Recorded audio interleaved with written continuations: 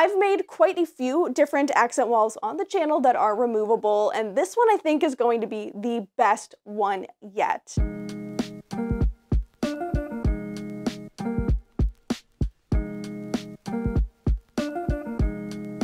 Hello and welcome in to the next installment of the bedroom makeover series. In the last video, we refinished these chairs, built this little table, and we've also gone thrifting and built an entire headboard with a matching bed skirt from scratch. And now we are moving on to probably the video I'm most excited about in the series, and that is creating this 100% renter-friendly accent wall. I'm gonna show you my inspiration photos of what I'm going to create with this one, and that is this half wall with that vertical shiplap look and a little shelf on top where we can style different knickknacks and decorations. So let's transform this boring beige bedroom into something that looks so much better and brings in personal style and I am really excited to get into this. So let's get started and let's head to pick up all of the materials.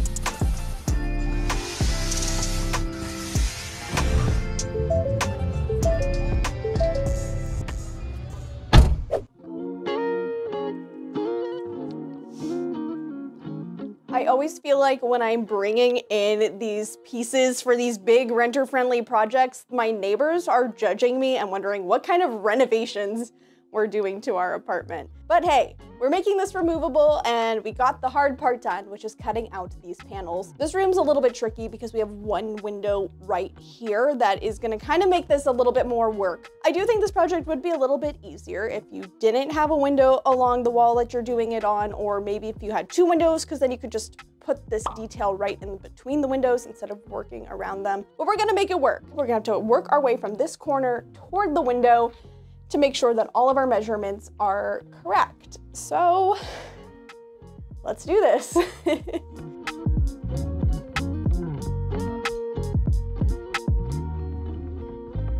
To attach these panels to the wall, I'm going to use a tried and true favorite, which are command strips. I have always had really good luck with these picture hanging command strips, which are kind of like the Velcro ones that you can push together. I think they work really great for something like this. And one thing that I like to do just to make this a little bit more secure, because we are putting a pretty heavy product up on the wall, is I like to use some hot glue. I always get some comments about this and why I'm doing that. I put the hot glue on the strip that is going to be attaching to this board because I sometimes find that the command adhesive, because it is a removable adhesive, doesn't really want to hold to this kind of MDF type material. So hot glue is just a little extra security to make sure that the panels do not come falling off the wall.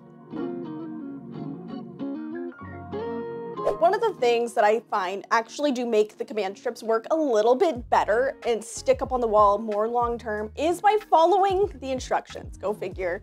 Using rubbing alcohol, you rub that in the spot where you're going to placing the command strips up on the wall. They're gonna hold better and they're going to remove better in the long run.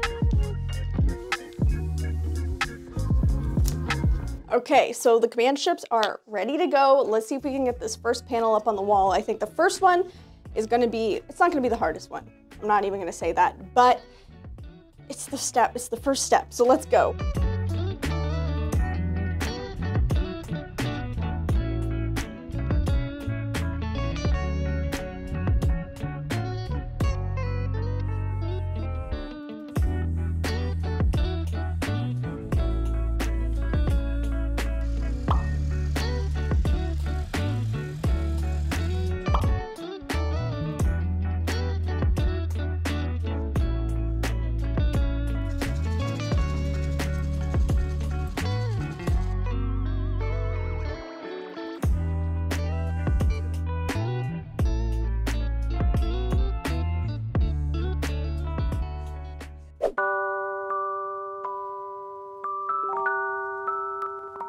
I am pleased to say that the panels all stayed up on the wall successfully overnight. Now we're on to day two of the project. And yes, I am wearing the exact same pants I had on yesterday, just in a different color. But that's because these are gonna be my new painting pants because I have a goal. We are gonna start painting today. So what I have right here are my shelf boards.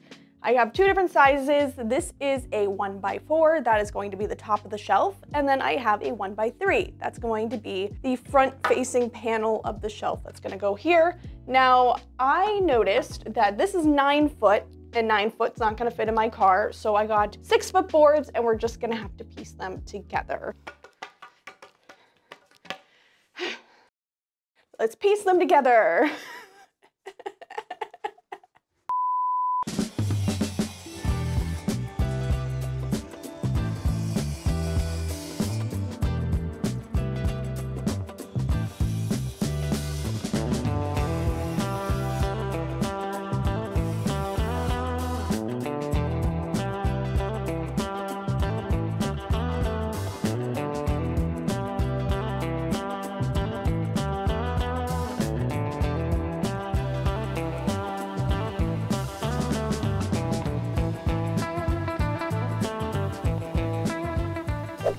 boards pieced together so perfectly, we're gonna want to start the paint process. So in order though, to paint and prime them, we're gonna need to protect the existing wall. So for that, we're going to need an extra thick roll of painter's tape.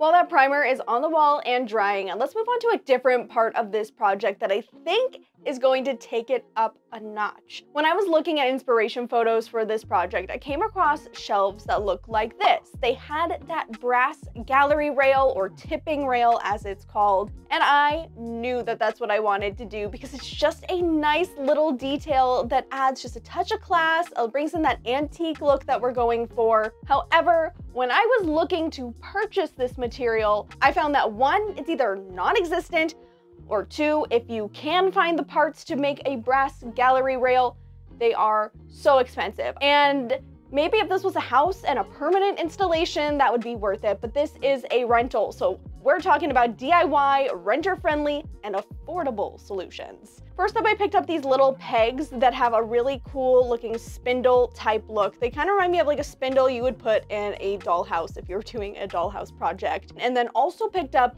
these little round finials. They're super tiny, but the best part is they almost for the most part fit together. Some of them I found fit together, some of them do not, so we're gonna have to work with them a little bit here. I went with this route because I wasn't quite sure how I wanted this project to come together just yet, but I think with the way that I figured it out, you can also purchase just some of these guys right here. I'll link those down below. First up, I'm gonna use my clamps to hold each of these little wood pieces when I'm drilling to make this a lot safer. And then I marked right around where the middle would be on both sides of these and started by using a 1 8 drill bit. Add holes on each side, centering it as best as possible with those measurements. As you can see, it should look something like this. After completing that, I then leveled up to a 1 4th drill bit. I marked it with some tape exactly how deep into the finial I was going to go to get the complete look. And I did this on both sides because these are going to be where our dowel channels sit into when we're making this gallery rail. After I completed the drilling on seven posts, you see you can piece them together just like this. They tend to go together and I did end up using my drill just to kind of clear out a little extra wood on some of the smaller ones and then use some hot glue to secure everything together. And now to make them look less like wood and more like brass, I'm starting by painting all of the finials and dowels with black paint and letting that dry. The black is the secret to making the next step pop and really have that cool antique brass type look. And in order to make that, I'm gonna be using Rub and Buff. The color that I'm using is Grecian Gold, and I just rubbed that on with a foam brush for the little finial pieces, and then just went in by hand with the dowels. It just made it so much quicker and easier to paint the dowels instead of going in with a brush.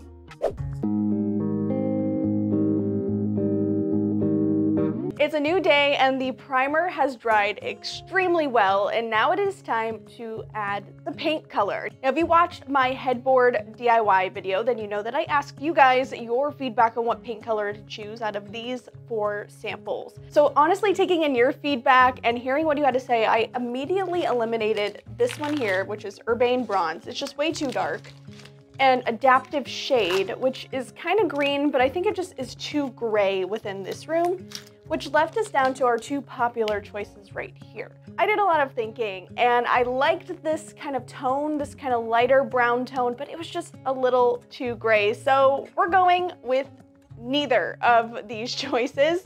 Let me show you the color that we picked. So I have our official paint color right here and I can't wait to show you what we went with. It's really not that different than the colors that we had sampled but there is something about it that made it stand out. And the color we went with is Whiskey Barrel by Behr, and it looks very milk chocolatey, maybe even a little bit lighter, almost caramely right now, but once it dries, it's gonna be this really pretty kind of chocolatey brown color. And we just ultimately decided that the warmer brown tone is gonna look so much nicer in here than some of those cooler taupe type brown shades that we had originally picked out. So I'm so excited to see this up on the wall.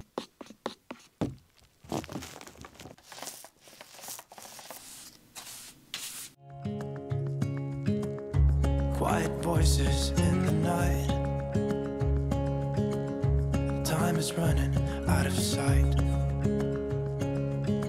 A lonely wind is passing by tries to carry all the whispers that it finds. The walls are listening when we talk,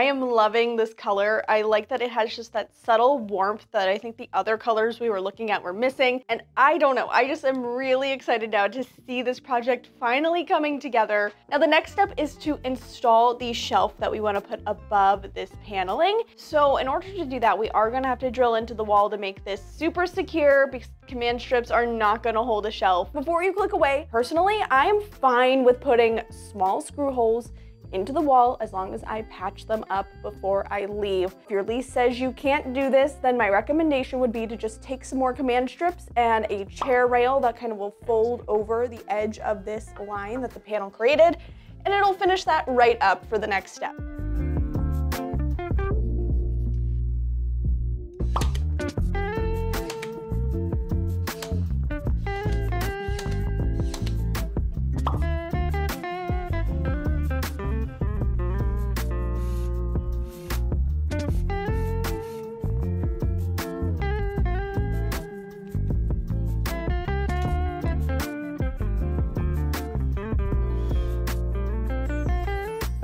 Now we need to see how we need to balance both ends.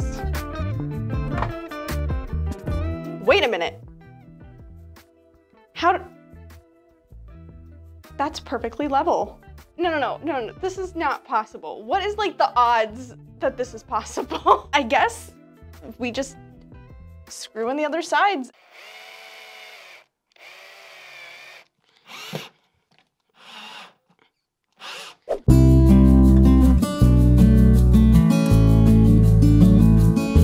Board up on the wall. It's another day of tackling this project here. And now we're gonna move on to our shelf board. And I've measured it out just to double check the measurement here now that it's been cut down and everything.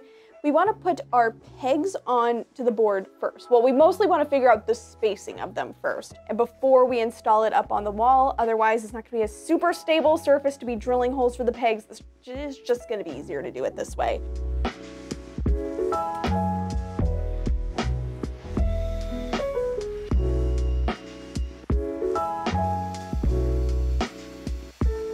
I already assembled my first section of the railing off camera just to make sure that my idea works and it seems like this is the perfect way to do it. So this is how I'm doing it. I stuck my little poles in to their little designated spots that we made them. Then I'm gonna take the next one and put it here.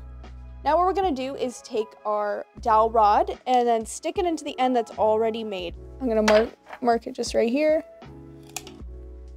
So once I get my dowel to the length that it needs to be, I'm gonna take the end that I'm already starting to work on and I'm going to put a little super glue right in there. And we take our end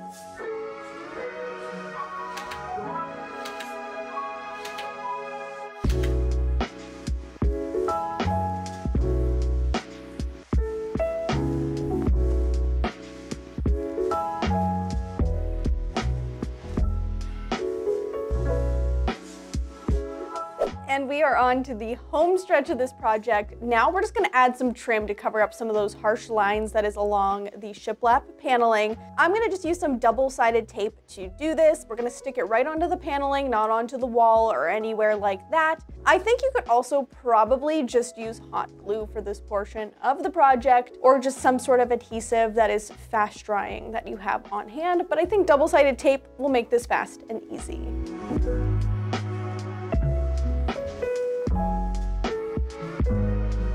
This part here is gonna be hidden by the bed, so we're not gonna put trim there.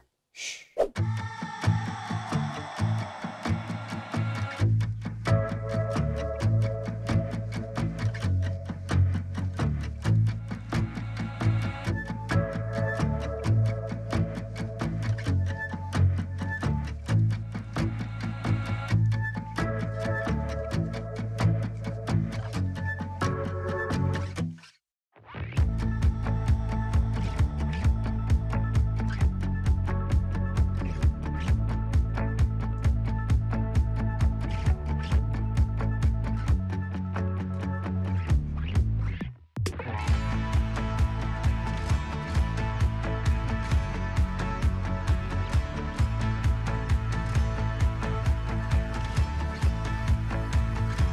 Think of the final result? Is this something that you would try in your own apartment? I love that this looks like a permanent installation when it's actually completely removable. And with a few small tweaks, you can even make this without putting any holes in the wall.